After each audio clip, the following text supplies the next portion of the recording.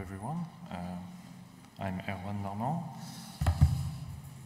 I was a student at uh, ETS in uh, Montreal, Canada. Uh, now I'm working at uh, INRIA Bordeaux in uh, France. And with my uh, director, Michael McGuffin, we worked on how we can enlarge a smartphone using AR.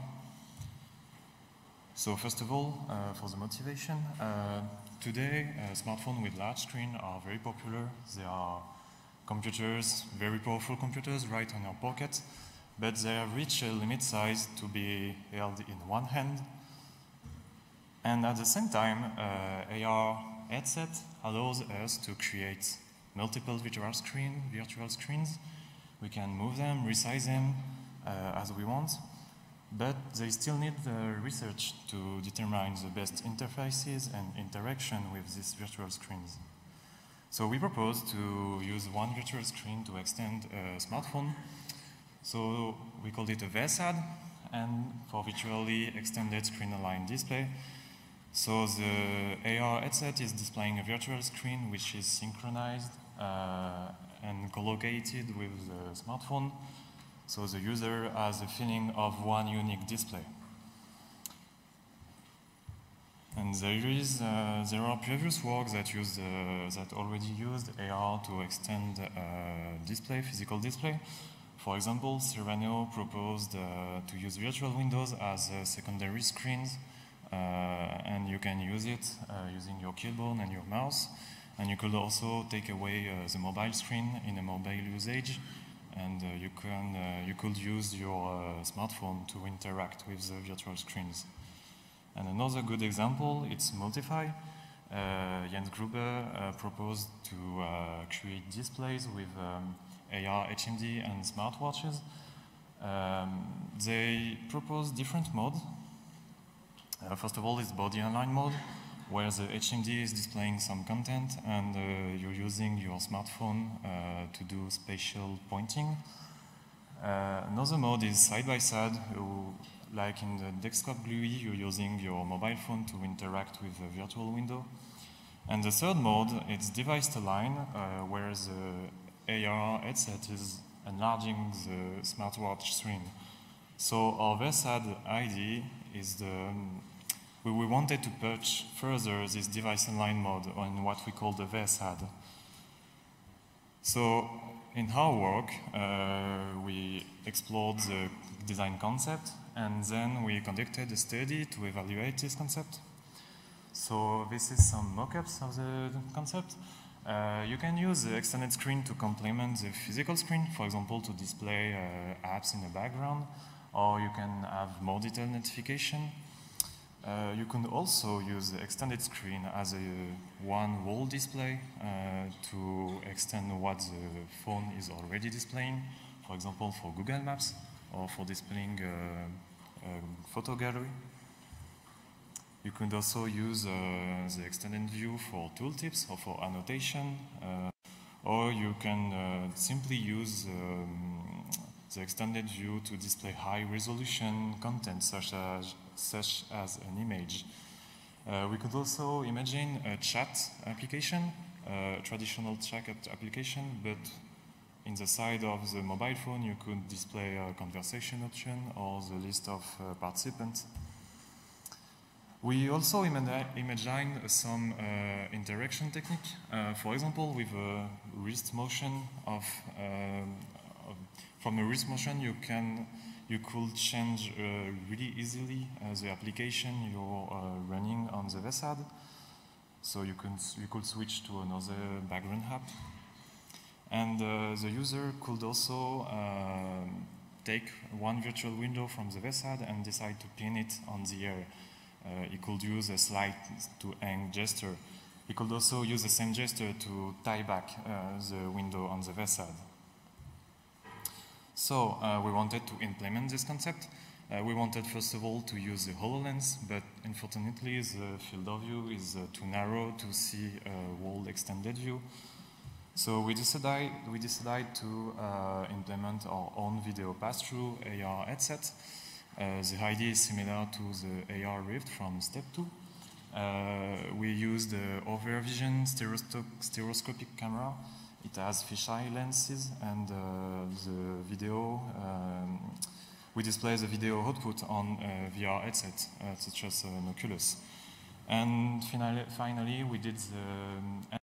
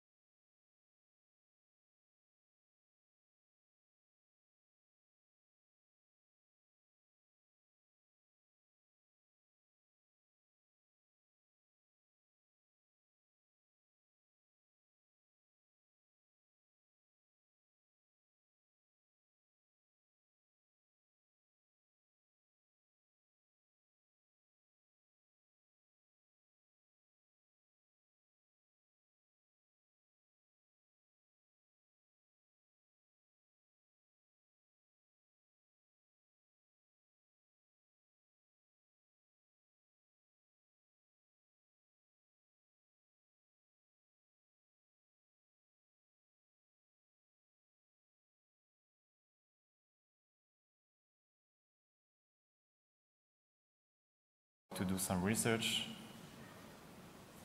to correctly classify an item. So input and output is done only on the phone. The second one is uh, using input on the phone, but uh, the VESAD as output. So you have uh, you, you, you can be quicker because of the extended view. And uh, the third one is using uh, VESAD output and midair input. So gesture, oh, I forgot some detail. Um, we use a really standard gesture uh, using the phone input, like in a Google map, so it's tap, uh, pan, and uh, pinch to zoom gestures. And uh, we did similar gestures in uh, midair interaction, so you need to press an item to select it, and you need to do a drag if you want to pan the grid. Now, uh, one question is, how do you allow a user performing a zoom with midair interaction? We wanted, first of all, uh, using pinch to zoom gesture on the extended view, but uh, it was very difficult to do because uh, the thumb and the index are very near. So if you want to select one item, you can do uh, zooming uh, involuntary. So we decided to use the same drag gesture for zooming, and the user has to uh, select from dragging or zooming. And uh, we also add two uh, factors for, to control the difficulty. First one is the text size, so it controls how much the user need to zoom to see uh, the label. So there was big label or so it was easier and harder. And controlled how much a user needed to, to, uh, to classify um, an item. So it was easy or it was hard and we conducted the experiment with 12 participants. Uh, there is more details on the papers. First of all, we measured the task completion time, and there is a significant, significantly difference between all the techniques. And the second one is the best, the fastest. So it's uh, input on the phone with the extended view.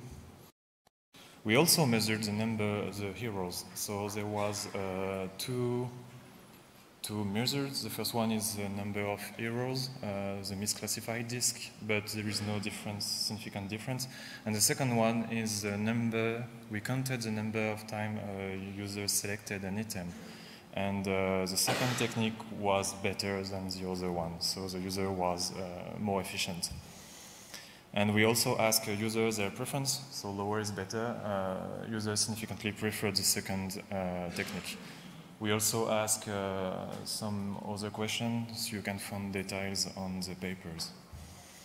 Finally, from these results, uh, we can say that uh, the VESAD is good enough, and uh, with touch input, with phone input, uh, the users were fastest, was less error prone, and uh, preferred these techniques. And we have some design recommendation. If you, want to use a VESAD, a handled VESAD, if you're using phone input, you should um, you, you, could use you, you could use uh, the display, the extended view for input, but the user needs to pan to bring a target on the touchscreen. So you should put targets near the touchscreen. It can be very frustrating to have a, to do a lot of panning to reach a target. And if you're using midair input, it's important to have uh, the um, interaction zone on the side of the dominant end. It's very uncomfortable to uh, cross and to do a selection. So, in summary, we proposed a new concept. Uh, it's a smartphone screen extended by AR. And our contribution, uh, we did a design study. We also released the open source marker tracking uh, library for Unity. And uh, our results from our experiment indicate that uh, the VESAD uh, with phone input was the faster, fastest, less error prone, and subjective preferred. But uh, with midair input um, was not, didn't well perform because of untracking, so we think uh, it has potential if you can improve the hand tracking. And some future work um, could be interesting to uh, have uh, additional tasks like a Google Map uh, to evaluate the VESAD on a desktop, and it would be interesting to, to compare our interaction technique with gaze pointing, as you can do on HoloLens. Thank you for your attention.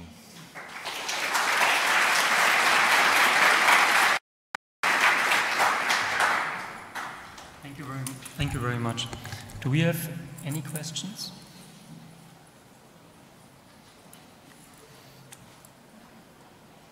No.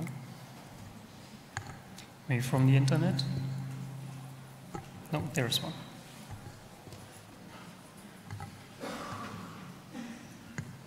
Thank you.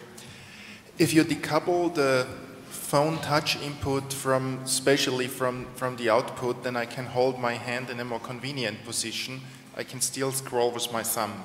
Did you consider that sort of or, uh, decoupled input space, decoupling input space from output space?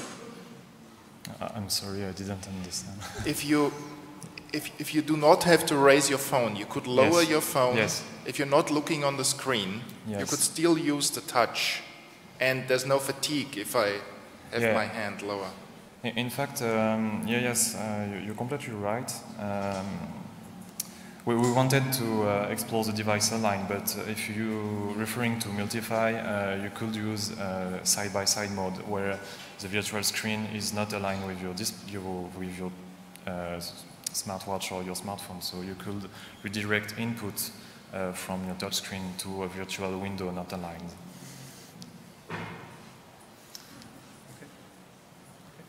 I have one, one more question.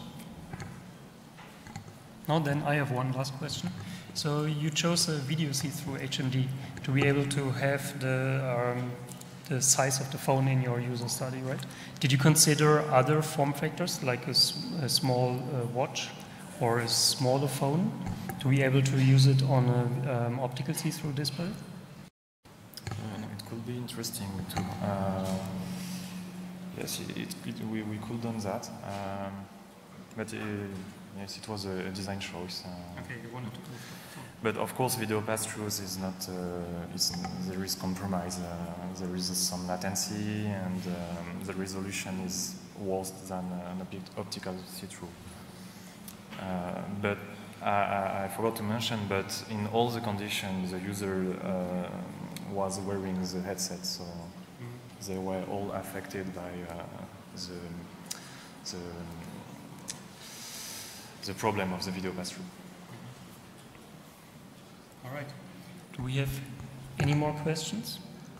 No. Then let's thank all the speakers again.